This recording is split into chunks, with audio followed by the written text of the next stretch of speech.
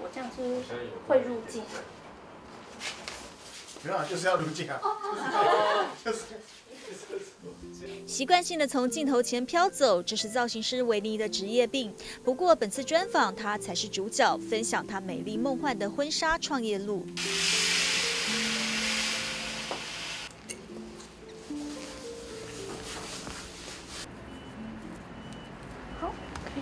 它跟美相关，这是我自己本身比较喜欢的。另外一个就是我非常非常喜欢的一个点，就是我觉得，呃，这样的工作是人家把他一辈子最重要的记忆之一托付给你。然后我觉得，当你可以很认真的在完成这件事情，然后他们从中从完成这件事情，因为你的服务而得到快乐，我觉得这是一种非常非常好的回馈。我觉得工作从来都不仅仅只是工作而已。今天是比较早才工作五点钟来一次参与海外婚摄的契机，让维尼首度萌生可以经营自己的礼服工作室的想法。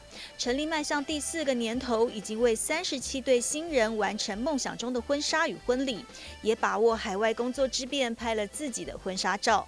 我其实，在荷兰啊，在法国，然后在意大利，我都有穿着我自己的婚纱，然后就是在街头做拍摄。然后像在意大利，我们那个时候是到那个西比塔天空之城去拍摄，然后一路上所有意大利人都跟你说“ Congole Congole ”，就是恭喜，然后都没有人发现我身边就是没有新郎这样。对对对，将婚纱、彩妆、造型、旅游结合。维尼的工作室目前在马尔蒂夫、日本等地都有合作团队，而远至欧美等地的行程，维尼甚至一手包办导游事项。我觉得要做到非常非常细，可能要两三个月。所有新人的行程跟交通规划、景点，全部都是从我手上出来的。所以你还是兼导游？没错，因为我自己非常常自助旅行，所以我在做呃旅游计划这块。算是还蛮厉害的。然后曾经有在巴塞隆纳工作过的新人，然后跟我讲说要去巴塞隆纳拍，然后我做了一个我们拍摄计划给他看，他看完之后他问我说：“哎，你有去过巴塞隆纳？”说我说我没有，我是做功课。理性面善于规划，感性面追求美感，一件件自行引进的婚纱，随时间数量累积，风格渐渐建立，多是他钟爱的低调奢华。然后深 V 的剪裁就是会让这整件礼服有一点亮点。战服来形容，对，这我就说这件礼服就是战袍级的等级，就是你穿了别厅的新娘都不敢看你的那种等级。那 model 能穿起来？我觉得穿起来就是很舒服，然后它的这个就是它的设计跟它就是这种亮片会让整个衣服变得就是很 bling bling，就所有人都会看看这件衣服这样。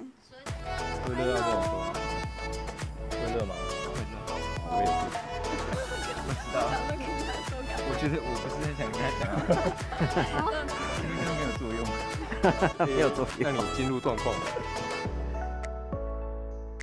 创业至今，维尼笑说自己是苦尽为甜，过程当然偶有颠簸，但把苦当作成长的养分，不负新人的期待，连同自己都一起到达幸福的彼端。谢张真交国峰简正书采报道。